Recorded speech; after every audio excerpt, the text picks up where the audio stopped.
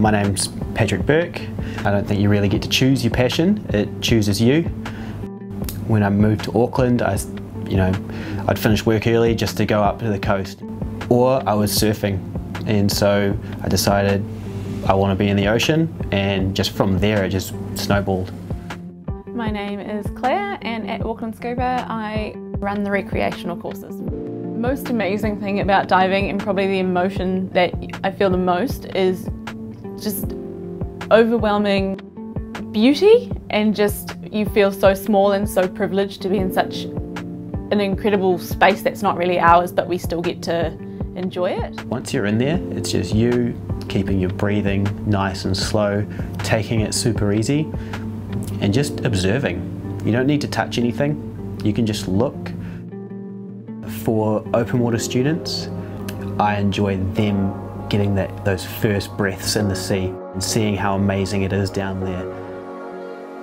Seeing them experience it for the first time, then you come out with your students and they are buzzing and they absolutely love it and they've just had the time of their life doing something they've never done before or seeing something they've never seen Saw the size of the snapper as well, which is really abundant in a marine reserve, which is really cool.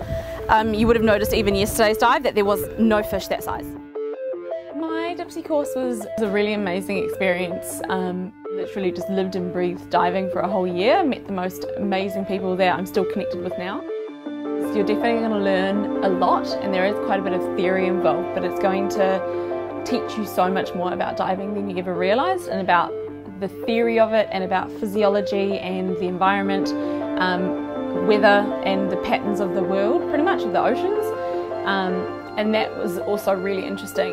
Um, it was definitely one of the best things I could have done, I think. Now I've started to see the assistant instructor portion. You see them kind of a bit worried when they're first starting and then within a couple of tries at doing the open water presentations or the confined water presentations or the classroom presentations, they're coming out of their shell. Their voice isn't shaking anymore. They find the same passion that I was finding around that point. What makes me happiest is when I feel like they're better than I was at that point. Going out with Auckland Scuba to any of the destinations like the Poor Knights or the Aldermans or White Island really is a spectacular way to do it. Um, going out on a purpose-built boat and everything, it makes it much more comfortable and enjoyable.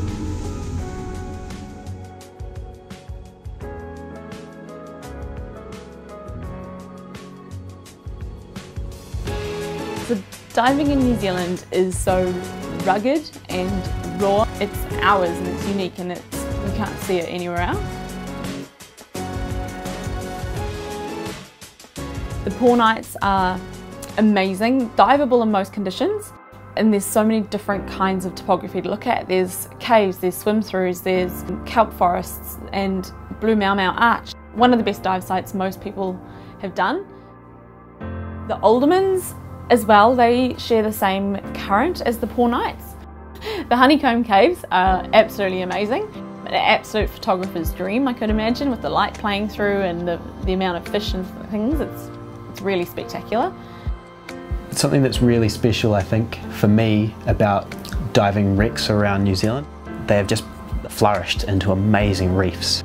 And then, of course, I, I do love going inside and exploring and just what has become of something that was probably quite great when it was on, on the surface and now it's something even greater underwater. Sometimes you see huge kingfish and snapper just hanging out there, like almost like they're residents. The jewel anemones, uh, the sea life that come around to otherwise fairly barren areas. We can do all the specialties essentially, deep, wreck, nav, boat. We do lots of peak performance buoyancy. We do um, buoyancy clinics. They're not, we've got a, a, a, clinic coming up for finning, so I'll be teaching people how to back fin and frog kick and be efficient with their legs. We can teach anything. I've learned so much about the ocean since becoming an instructor, and it's actually completely changed mm, my standing as well. We go to some places and we're constantly picking up rubbish, even a month or two gaps. You know. More people starting diving will also make it feel like it's theirs. So they'll probably start to want to look after it a bit more too. For us to protect the Hauraki Gulf, I think there just needs to be a lot more education on the importance of it, the beauty of it, and also letting people experience it. Because people who aren't into diving or fishing or out on the water don't understand the value and the benefit of actually having something like that on our doorstep. If you're considering learning to dive or learning to become an instructor, I would definitely say do it, you'll never regret it. Things that you'll experience and the people you'll meet and it's it'll change your life. Or you can just show off that you are out there in the sun having fun.